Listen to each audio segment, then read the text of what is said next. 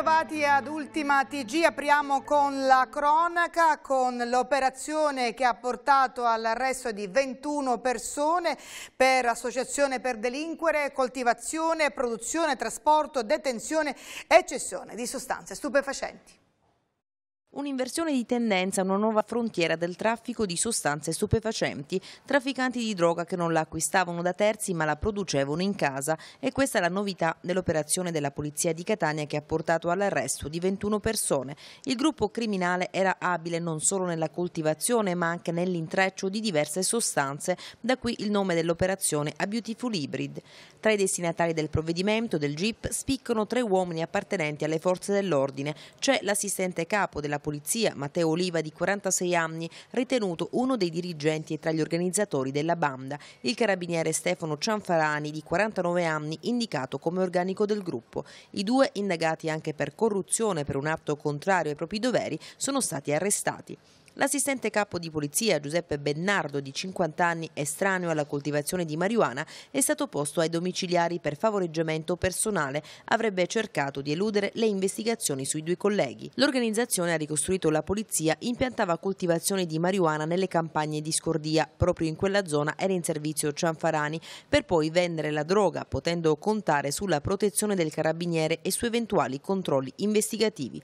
Durante le indagini coordinate dalla Procura distrettuale di di Catania, il 23 settembre del 2017 la squadra mobile ha sequestrato una piantagione con 2500 piante di marijuana e ha accertato che gli indagati avevano già predisposto un terreno che sarebbe stato destinato alla coltivazione di arbusti per la produzione di droga. Le indagini della squadra mobile di Catania sono state avviate dopo le dichiarazioni di un pentito del clan Nardo di Lentini a cui si sono poi aggiunte quelle di un altro collaboratore di giustizia della Cosca Cappello Buonaccorsi, ma è stato anche grazie alle intercettazioni che gli agenti hanno ricostruito l'intera filiera della produzione di cannabis, evidenziando la competenza degli indagati nelle tecniche della coltivazione. Complessivamente sono 15 le persone arrestate e altre 5 poste agli arresti domiciliari, un ventunesimo indagato e al momento irreperibile.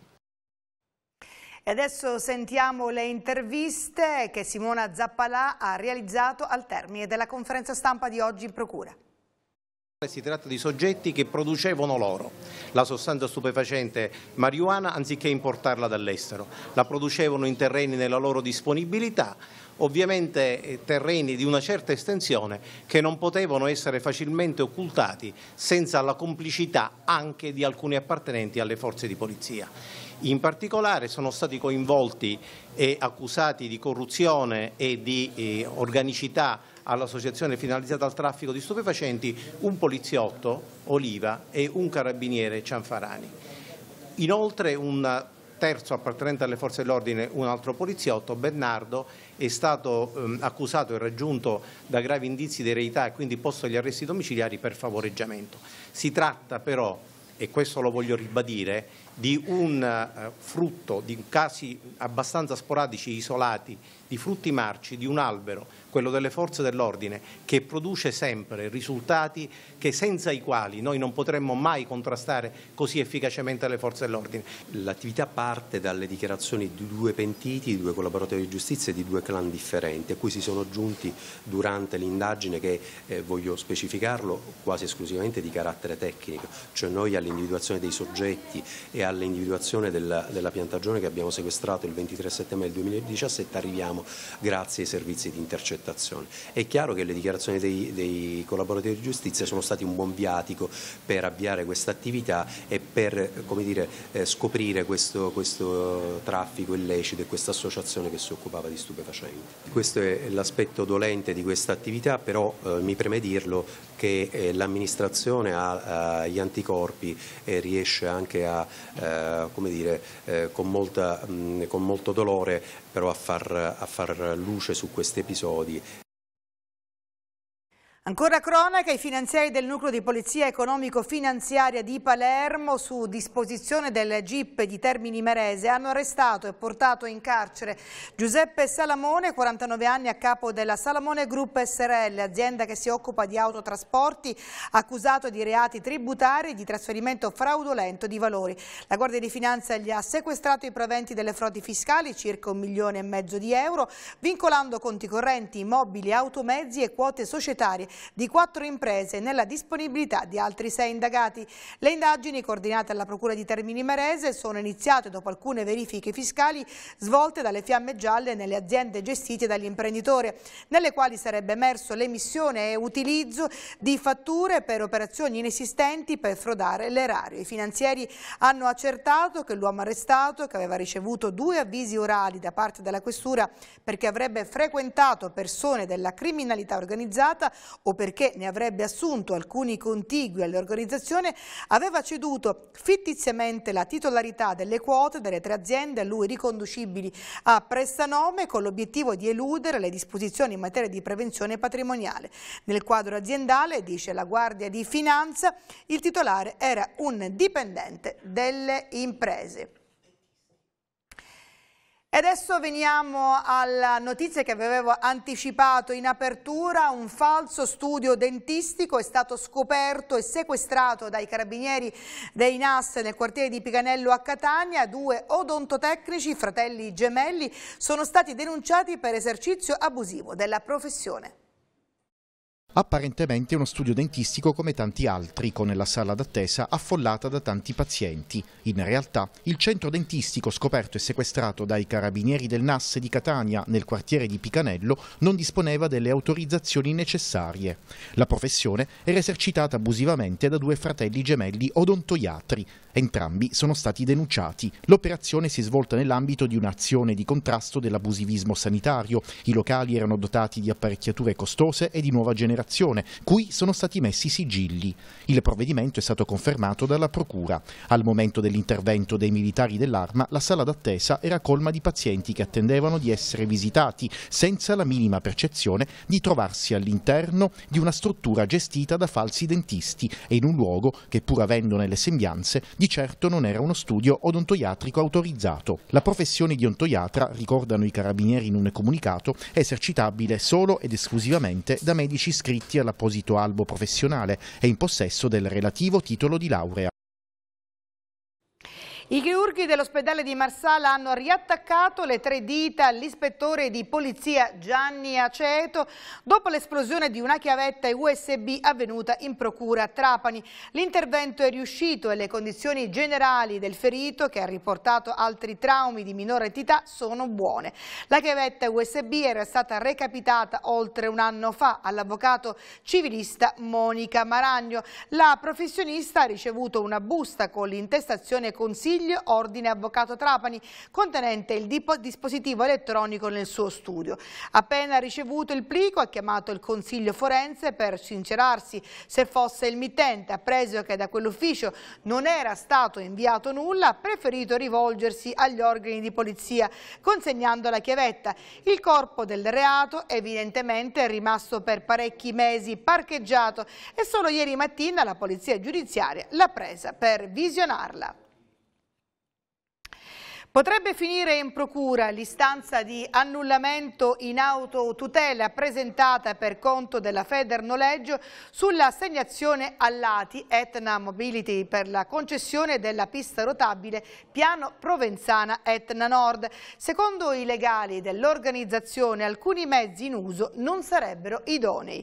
Nel ricorso si cita anche quanto fatto dal comune di Lingua Glossa in maniera apodittica attraverso il il responsabile del procedimento di gara, affermano i legali della Feder Noleggio, è stato dichiarato labialmente che i mezzi dell'ATI erano in possesso di licenze idonei. Secondo gli avvocati invece i veicoli non sarebbero in regola. Vediamo. Annullamento in autotutela previa sospensione urgente degli effetti dell'assegnazione all'ATI Etna Mobility della concessione della pista rotabile Piano Provenzana Etna Nord. Recita così un passaggio dell'istanza di annullamento in autotutela che è stata presentata dagli avvocati Orazio Giovanni Vecchio e Pierpaolo Lucifora per conto della Federnoleggio Confesercenti, di cui è presidente Giuseppe Contraffatto, in relazione ai mezzi in uso nell'ambito del progetto ATI Etna Mobility adibiti. Gran parte di questi automezzi non sono eh, adibiti al noleggio con conducente per il trasporto di persone a pagamento eh, e quindi non sono in regola con quanto previsto dal bando e eh, con la normativa di settore. Ovviamente i, mezzi adibiti al trasporto eh, di persone a pagamento hanno una normativa particolare molto stringente, ad esempio gli automezzi sono soggetti alla revisione annuale anziché a quella biennale come i mezzi adibiti all'uso privato, ad esempio eh, le assicurazioni hanno dei massimali più alti, i conducenti devono avere una idonea abilitazione alla guida. Ecco, tutto questo nel noleggio senza conducente non esiste. Una situazione che secondo l'avvocato potrebbe avere ripercussioni anche sui turisti. Per i turisti ci potrebbe essere anche un, un rischio perché le assicurazioni eh, potrebbero anche non pagare un eventuale sinistro per il fatto che l'autovettura che è immatricolata ad uso privato eh, diciamo, avesse un uso improprio. Nella memoria dei ricorrenti si scrive che esiste un'interpretazione della normativa rappresentata dal legale dell'ATI, ma viene ritenuta insufficiente. Non ci convince perché la documentazione che è stata prodotta attiene alla possibilità eh, delle agenzie di viaggio e eh, ad esempio degli albergatori di eh, avere delle proprie autovetture, quindi immatricolate a nome dell'albergatore o a nome dell'agenzia di viaggio per il transfert, cioè per il trasporto breve, per tratti brevi dei propri clienti, non so, verso l'aeroporto, verso il porto, eccetera. Questa normativa che loro richiamano non ha nulla a che vedere con eh, l'autorizzazione al noleggio con conducente non ha nulla a che vedere in generale con quanto previsto proprio dal bando perché il bando prevedeva proprio che gli automezzi dovessero essere adibiti al trasporto eh, a pagamento con conducente. Una vicenda ingarbugliata che, si legge nella memoria, potrebbe avere come deriva la segnalazione alla Procura della Repubblica, anche perché per il momento non è giunta alcuna risposta. Il prossimo passo chiaramente sarà un esposto eh, perché noi abbiamo presentato una istanza in autotutela alla fine eh, del mese di luglio evidenziando oh, queste problematiche ma ad oggi eh, non abbiamo ottenuto alcuna risposta e questo dispiace perché fino oh, ad ora diciamo, il Comune di Lingua Glossa, comunque l'interlocuzione con le pubbliche amministrazioni in generale da parte di Federnoleggio Sicilia e Confesercenti è stata sempre eh, una interlocuzione di collaborazione, non capiamo ecco, quali eh, possono essere le ragioni, peraltro noi riteniamo che il comune di Lingua Glossa in tutto questo sia stato danneggiato. Sconcerto al centro Padre Nostro, fondato da Don Pino Puglisi a Palermo, il cui presidente Maurizio Artale è stato coinvolto in un diverbio in cui un uomo gli avrebbe detto hanno fatto bene ad ammazzare Uparrino, riferendosi al beato ucciso dalla mafia. Sentiamo. Non si può parcheggiare e parte la frase che lascia sgomenti. Hanno fatto bene ad ammazzare Uparrino. È accaduto davanti il centro Padre Nostro di Palermo, dove durante un diverbio la frase è stata pronunciata rivolta al presidente Maurizio Artale e riferita al beato ucciso dalla mafia 25 anni fa. Forse loro pensavano che andato via il Papa, finita l'emergenza, potevano ritornare a posseggiare dall'altra parte. Ma i vigili urbani hanno fatto bene a dire manteniamo lo stato di legalità in questa piazza. E quindi hanno detto no, se noi giocheremo le macchine lì sopra dovremmo eh, elevarvi le multe. Ecco, quindi secondo me questa cosa li ha un poco, come dire, surriscaldati, specialmente questa persona che ha iniziato col problema del posteggio, della, della moto, e io fino a quel momento stavo lì ad ascoltarlo, cercavo di fargli capire il significato proprio di quella piazza, della venuta del Papa, ma lui ha detto che non gliene fotteva niente del Papa, del sindaco che era un coinnuto che non gli dava il lavoro, poi però come ha detto hanno fatto bene a ammazzare parrino, allora a quel punto ho capito che la cosa andava oltre. Sconcerto al centro dedicato all'azione di Don Pino Puglisi, anche perché nessuno è intervenuto. E non è tanto il fatto del poxeggio, il fatto che lui mi abbia aggredito verbalmente, ma è quello che significa che lui scende in una piazza e davanti a tutti si espone in questa maniera, perché devo dire la verità, lui almeno ci ha messo la faccia nella sua brutta espressione che ha fatto. Gli altri invece sono nascosti perché non è sceso nessuno ecco, a cercare di mitigare questa situazione o anche a, a riportare alla ragione questo, questo signore stesso, quindi questo mi ha fatto molto riflettere. Tra i controlli insufficienti e la mancanza di civiltà a Catania sembra non avere fine il problema dell'emergenza rifiuti. Tante le zone coinvolte, tra queste la cosiddetta Fere a Lumi in pieno centro storico. Continua a Catania l'emergenza rifiuti, un problema che coinvolge tutta la città, dalla periferia al centro storico, dove interi quartieri sono ricoperti da cumuli di rifiuti. Le misure adottate finora dall'amministrazione sembrano purtroppo non bastare, ma peggiorare ulteriormente una situazione ormai diventata insostenibile è anche l'inciviltà di quanti continuano ad abbandonare i propri rifiuti per strada. Secondo me l'inciviltà dei cittadini c'è perché ancora si devono abituare ad essere un pochettino più puliti, perché se non ci, ci aiutiamo noi stessi ad essere più puliti la città resta sempre sporca. I cassonetti attualmente nelle zone non ci stanno, perciò le persone non fanno altro, nelle, nelle ore che noi non ci siamo scendono dal palazzo, la mettono davanti al portone, però se la prendono la spazzatura, però dopo non, non si capisce perché la mattina ci sarà sempre qualche pochettino di spazzatura in qualche angolo o in qualche posto degli operatori. Al centro storico ci sono parecchi pub e parecchie B&B gente che vengono da fuori, non sanno dove mettere la spazzatura, la lasciano dopo. Noi chiediamo all'amministrazione che almeno la mattina qualche macchina di quella piccolina per poter passare o qualcuno sempre dalla nettezza urbana per poter vedere dove poter pulire. Noi siamo un centro commerciale all'aperto e vogliamo i nostri diritti perché là poi noi paghiamo i servizi, non è che dici li vogliamo gratis, di attenzionare questi punti della città. Lo so che ci sono altri punti della città che hanno lo stesso problema, ma noi dobbiamo difendere la nostra zona. Questo mercato è l'occhio di Catania perché ci sono tanti B&B e vengono 2000 turisti e non è bello fare vedere Catania così bella però che sta pozzando. Ovviamente noi da tempo cerchiamo di eh, sensibilizzare eh, tutti i siciliani a fare raccolta differenziata, in particolar modo per quanto riguarda i catanesi. Invitiamo a segnalare sul numero Whatsapp messo a disposizione di tutti della Dasti coloro che eh, vediamo buttare i rifiuti in orari non consoli, solo con eh, la denuncia, solo con le nostre segnalazioni possiamo bloccare quanti hanno deciso che questa città debba eh, essere stracolma di rifiuti nonostante si continuino a fare le pulizie.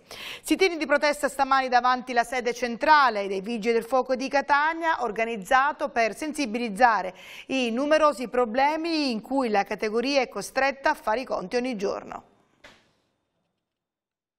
Una pentola sul fuoco, piatti e posate. È iniziata così la protesta del sindacato USB dei Vigili del Fuoco, un presidio organizzato per offrire simbolicamente un pasto a tutti quei lavoratori che da ormai sette mesi non ricevono i buoni pasto loro dovuti. Il pasto caldo è l'espressione dello striscione Sicilia Soccorsentit e lo stato di salute in cui versano i Vigili del Fuoco in Sicilia. I buoni pasto ormai sono sette mesi che i lavoratori non percepiscono e quotidianamente dovevano mettere i soldi di tasca proprio per poter, uh, poter usufruire di un pasto caldo anche durante le emergenze. Noi questo non lo possiamo più ammettere vogliamo risposte certe. Oltre a questo vogliamo capire perché il problema è soltanto in Sicilia e nelle altre regioni invece questi buoni pasto li hanno recepiti. Ma i problemi che coinvolgono la categoria sono purtroppo numerosi, dalla carenza di personale alla mancanza di mezzi adeguati. Diciamo alla politica basta, non ve lo possiamo più ammettere di metterci pacche sulle spalle e poi non mantenere fatti.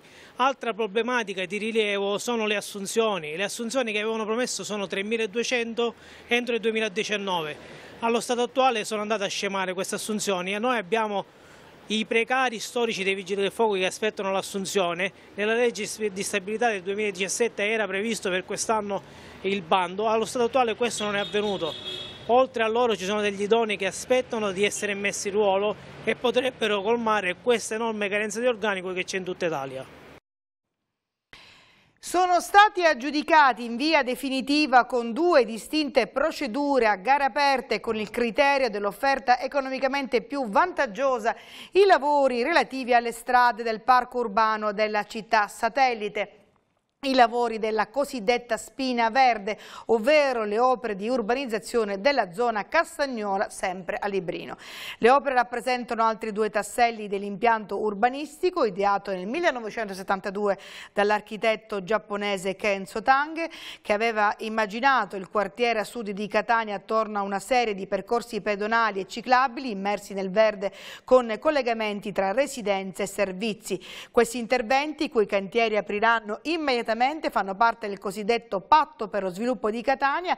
L'intervento del parco urbano, giudicato per un importo netto di 2 milioni di euro, fa parte degli obiettivi individuati nel settore ambientale, nel quale sono previsti due lotti del parco urbano, dei quali questo è il primo. Con questa scelta si intende favorire lo sviluppo economico e produttivo dell'area metropolitana e la sua sostenibilità ambientale e di sicurezza.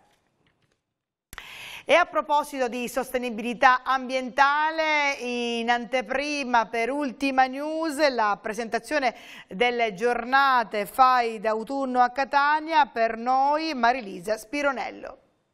Io ricordo di essere nata, io ricordo di essere nata qui il progetto effettivamente porta il nome di Sorgiva, dalle fonti del benessere alle fonti del sapere. Noi, gruppo FAI Giovani della delegazione FAI di Catania, abbiamo eh, raccolto l'invito che il FAI centrale ha dato a tutti i gruppi giovani, ossia di dedicare i loro percorsi di apertura delle giornate FAI d'autunno al tema dell'acqua. Un tema naturalmente molto delicato eh, perché se da un lato chiaramente caratterizza nel senso estetico e dunque della bellezza le nostre città, dall'altro naturalmente rappresenta una fonte esauribile che va mantenuta, rispettata e in qualche modo recuperata. Quindi traendo spunto da questo tema abbiamo deciso di eh, creare un percorso chiaramente tematico che affrontasse le aperture che sono strettamente da un lato legate all'acqua. Nelle giornate di sabato 13 e domenica 14 ottobre apriremo i siti termali, quali quali nella fattispecie le terme achilliane, le terme della rotonda, le terme dell'indirizzo, ma come gruppo non ci siamo voluti limitare solo all'apertura dei siti termali che già di per sé rappresentano un eccezionale eh, splendore per la nostra città, ma anche i siti universitari, perché mh, ci siamo resi conto come giovani che effettivamente eh, la fonte, l'arricchimento, il nutrimento possono essere fisico, ma possono essere anche culturale, spirituale. Ed è per questo che abbiamo pensato anche alle biblioteche biblioteche più importanti della città e ai siti universitari più importanti. E quindi il Palazzo del Rettorato, la Villa Zingalitetto, la Scuola Superiore di Catania, Villa San Severio eh, che eh, chiaramente in qualche modo anche sensibilizzano l'utenza stessa dei siti, i giovani studenti a poter partecipare in maniera attiva alle giornate. E infine il sito riservato, così come il FAI ci chiede di coccolare i nostri iscritti, i nostri sostenitori, abbiamo deciso di aprire al pubblico la biblioteca biblioteca Orsino Recupero che già di fatto è aperta ma con una particolarità, ossia l'apertura del museo studio dedicato a Mario Rapisardi. Adesso noi ci fermiamo per la pubblicità, subito dopo lo sport.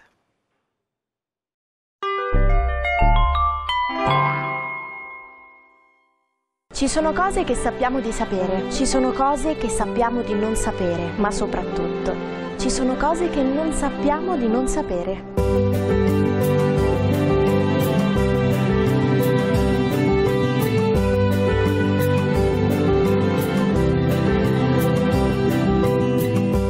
L'università è curiosità e scoperta, e sfida con se stessi e confronto con gli altri.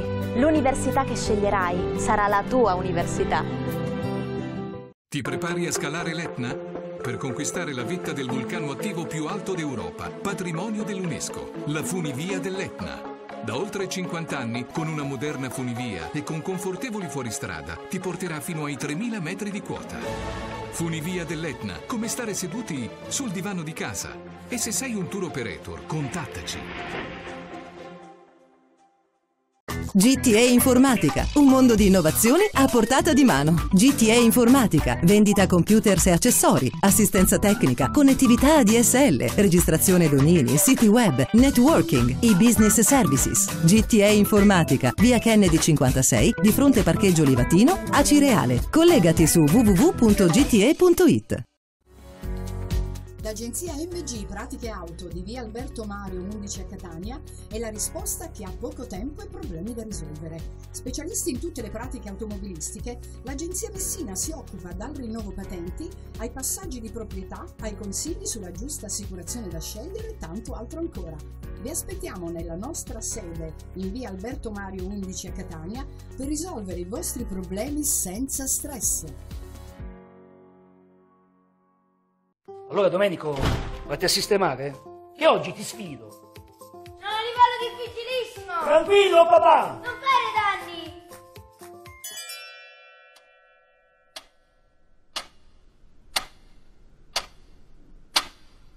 Mi sta chiedendo sì o no? Ma tu non conosci la Morgan School?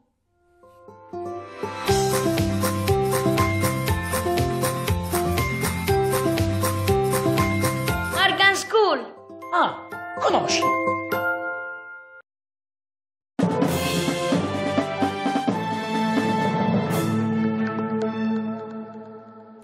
Casa Palermo si riprende domani pomeriggio in vista della prossima gara contro il Lecce. Intanto la cura Stellone ha avuto un effetto immediato, ha convinto gli scettici a rimanere in rosa per conquistare la promozione. Nestorowski ha segnato il gol vittoria, Rispoli ha esordito dopo quattro mesi di inattività il portiere Pomini è felice di giocarsi il posto con Brignoli. Roberto Chifari ha sentito il suo agente.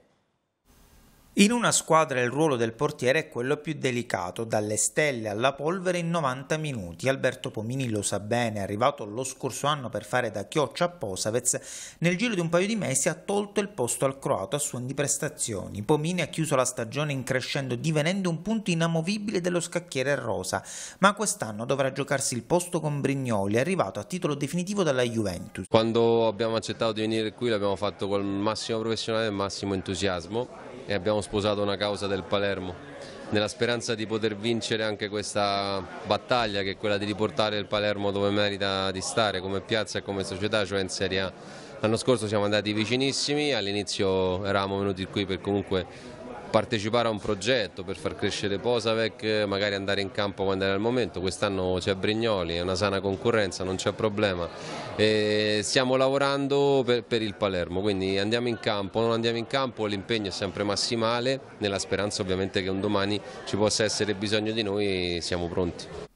Nessuna cessione, nessun mal di pancia, Pomini ha scelto Palermo e ha deciso di rimanere nonostante al momento sia una seconda scelta, ma sa bene quella che è la solitudine del portiere e con Brignoli si giocherà il posto. Alberto si è ambientato subito benissimo qui, sia calcisticamente che a livello di vita, con la sua famiglia si trova benissimo, non, non ci ha pensato minimamente ad andare via. Al di là degli obiettivi personali, l'obiettivo per Pomini, così come per il resto della squadra, resta soltanto la Serie A. Alberto l'anno scorso ha dimostrato il suo reale valore ed è pronto a farlo in qualsiasi momento per il bene del Palermo, quindi bisogna in questo momento essere tutti uniti per quello che è l'obiettivo, cioè cercare di tornare in Serie A perché nonostante tutto il Palermo rimane una squadra molto forte. Bene, era questo l'ultimo servizio per quanto riguarda questo appuntamento con l'informazione su Ultima TG. Vi ricordo che i servizi più importanti, compresa la eh, conferenza stampa per intero della Procura e dell'operazione di oggi, la potete eh, trovare sulla nostra pagina Facebook. Per le segnalazioni il numero della nostra redazione è a vostra completa disposizione. Grazie e buon pomeriggio a tutti voi.